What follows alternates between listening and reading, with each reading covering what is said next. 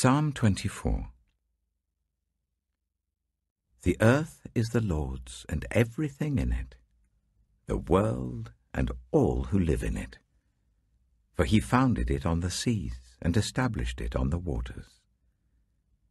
Who may ascend the mountain of the Lord? Who may stand in his holy place? The one who has clean hands and a pure heart, who does not trust in an idol or swear by a false god. They will receive blessing from the Lord and vindication from God their Saviour. Such is the generation of those who seek him, who seek your face, God of Jacob. Lift up your heads, you gates. Be lifted up, you ancient doors, that the King of glory may come in. Who is this King of glory?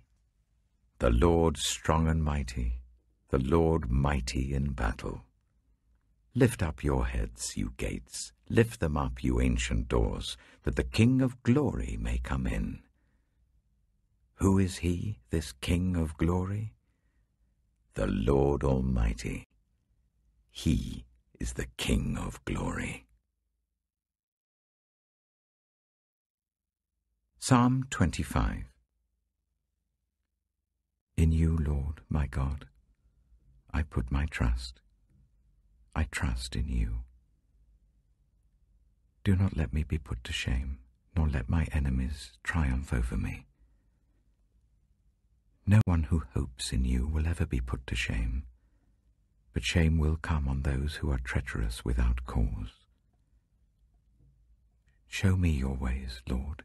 Teach me your paths. Guide me in your truth and teach me. For you are God, my Saviour, and my hope is in you all day long. Remember, Lord, your great mercy and love, for they are from of old. Do not remember the sins of my youth and my rebellious ways. According to your love, remember me, for you, Lord, are good. Good and upright is the Lord. Therefore he instructs sinners in his ways. He guides the humble in what is right, and teaches them his way.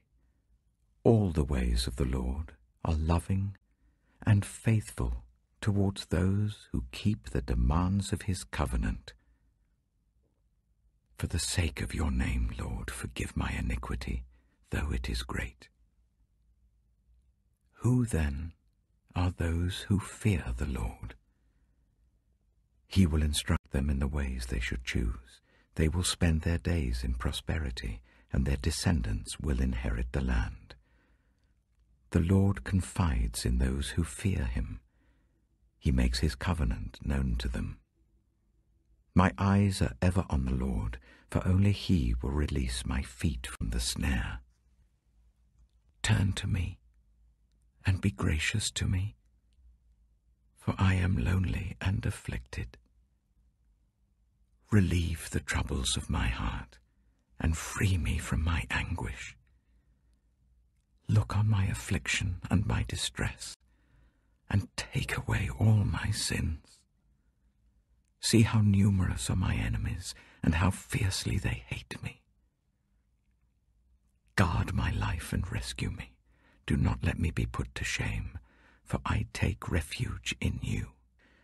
May integrity and uprightness protect me, because my hope, Lord, is in you. Deliver Israel, O God, from all their troubles. 1 Corinthians chapter 8 Now about food sacrificed to idols. We know that we all possess knowledge, but knowledge puffs up, while love builds up. Those who think they know something do not yet know as they ought to know but whoever loves God is known by God. So then, about eating food sacrificed to idols, we know that an idol is nothing at all in the world, and that there is no God but one. For even if there are so-called gods, whether in heaven or on earth, as indeed there are many gods and many lords. Yet for us there is but one God, the Father, from whom all things came and for whom we live. And there is but one Lord, Jesus Christ, through whom all things came and through whom we live. But not everyone possesses this knowledge. Some people are still so accustomed to idols that when they eat sacrificial food, they think of it as having been sacrificed to a god, and since their conscience is weak, it is defiled. But food does not bring us near to God.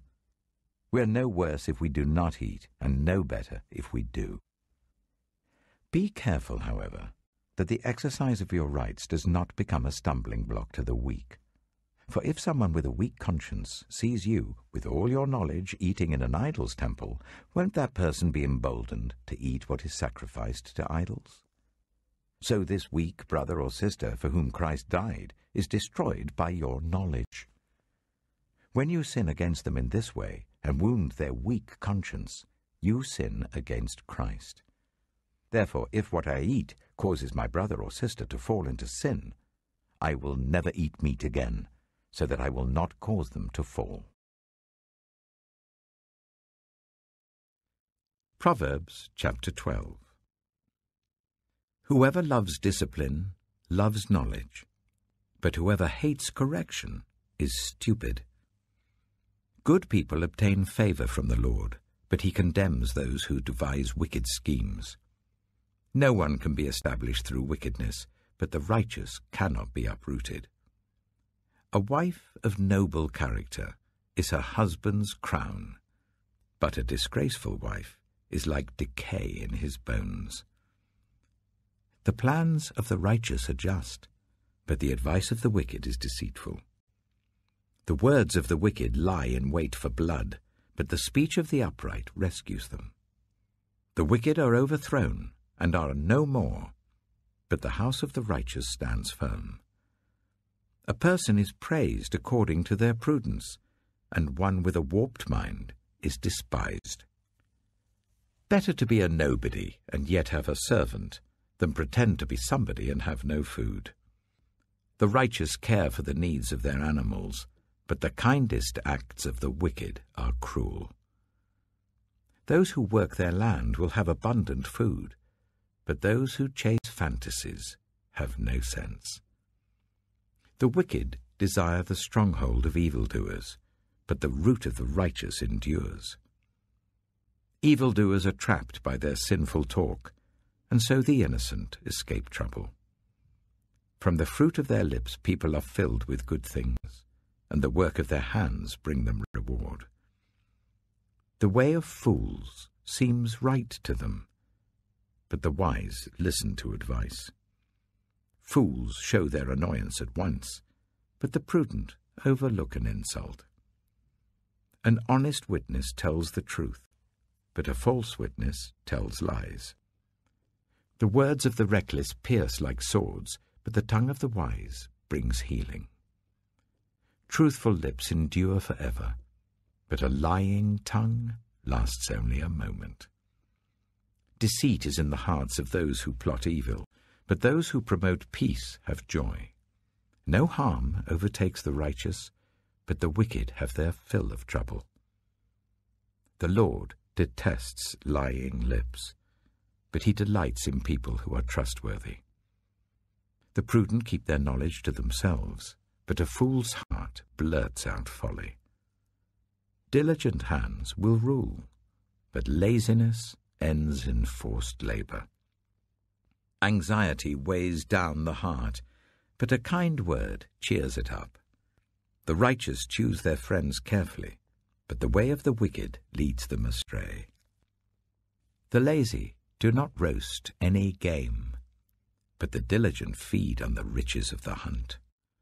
In the way of righteousness there is life. Along that path is immortality.